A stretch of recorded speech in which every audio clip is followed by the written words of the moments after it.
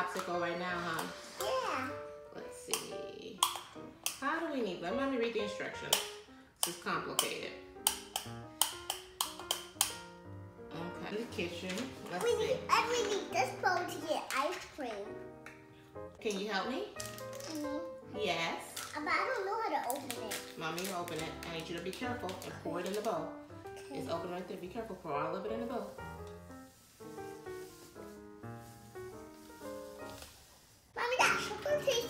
Mm-hmm. But you're not supposed to be eating it until we finish with the ice cream, okay? Yeah.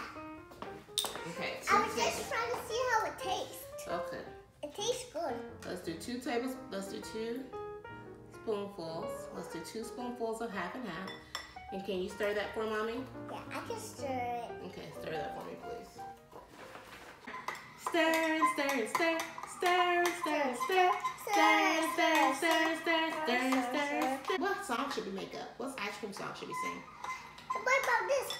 I'm making ice cream from my tummy. I'm making ice cream from my tummy. We're making ice cream. It's for the tummy. I'm making ice cream from my tummy.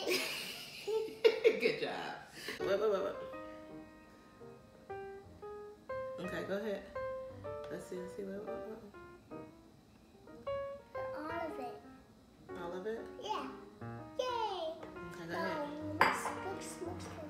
Join the fruits of your labor. I'm not doing the fruits of my labor. Yes, you are. I'm not doing the fruits of my labor. I don't have any fruits to join.